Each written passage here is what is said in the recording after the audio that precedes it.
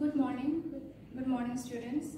So today uh, I'm going to show you oxygen administration or uh, you can call it as oxygen therapy. So uh, oxygen therapy is nothing but it is a therapeutic technique uh, of administration of oxygen to those patients who needs who requires oxygen like uh, hypoxia, hypoxemia or cyanosis. In those conditions, we need to administer oxygen.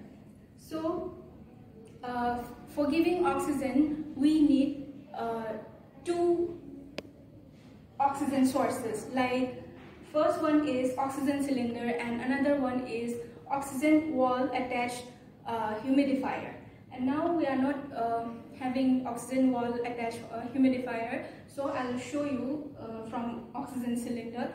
So these are the parts of oxygen cylinder, the main part of oxygen cylinder, which uh, the uh, down part, which is which looks like bottle, is humidifier, which we have to fill water, uh, and the upper part, part is flow meter. Here we have to adjust how much we require.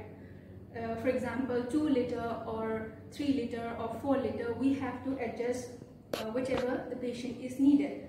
And uh, this is the oxygen cylinder. So we have to take care of this oxygen cylinder while handling as well as uh, while keeping also. Why? Because oxygen is um, a gas which aggravate the fire. Not uh, oxygen is not a combustible gas which is uh, not an flammable gas, but it will aggravate fire. So we have to label it uh, with a paper on the oxygen cylinder so that no one can smoke uh, or no one can uh, fire or no one can light any kind of fire near the oxygen cylinder and also we have to keep the oxygen cylinder in a metal cage like this. So we will start uh, the oxygen therapy procedure. So uh, there are um, three main uh, oxygen therapy. First one is through nasal prong or nasal cannula. So first of all, we have to wash our hand before starting the procedure as I already washed my hand and we have to connect this tube to the oxygen source that is oxygen cylinder.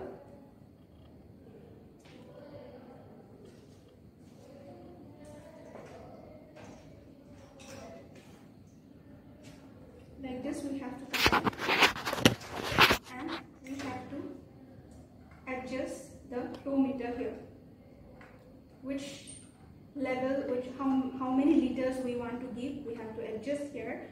And we will check whether oxygen is coming or not as we can feel it here.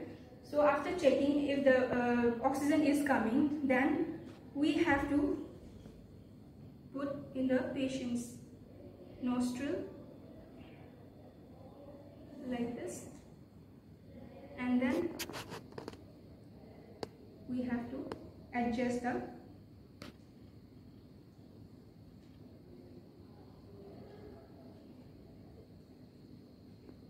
this nasal prong we have to adjust at the patient's comfortable level.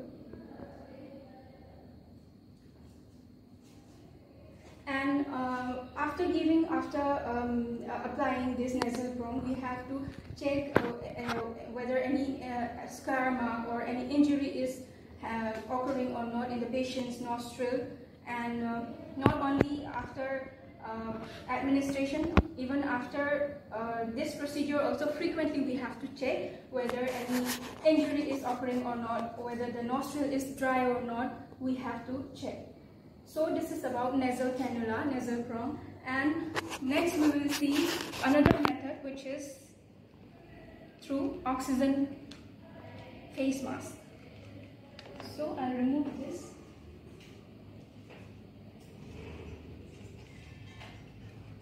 For this oxygen mask also same procedure, the initial procedures will be same like uh, we have to connect the tube here and then we have to adjust the desired uh, oxygen level and Here also we have to check whether the oxygen is coming or not by keeping our uh, hand on this. If the oxygen is coming then we have to put on the patient's face like this. And then we will adjust the lace here. It should not be too tight or it should not be too loose. And we, we will ask the patient whether it is comfortable or not. Like this we have to give and this is about the uh, facial mask. Now we will see another method. This is called oxygen hood. So this is only for infant not for adult. This is only for infant. So here also same uh, like we have to same like previous method we have to connect the tube here and then we have to adjust the flow meter the desired uh, level we have to keep here and then we have to keep this hood on the uh, on the baby's head on the uh, infant's head. So like this we can give the oxygen to infants. So this is only for uh, infants and after procedure for for this uh, uh, for oxygen hood we should be very careful. Unlike uh, adult patients they will not be able to say uh, any means any uncomfortableness or anything. They, they will not able they will not be able to say. That is why we have to observe very closely. We have to monitor the uh, infant patient frequently whether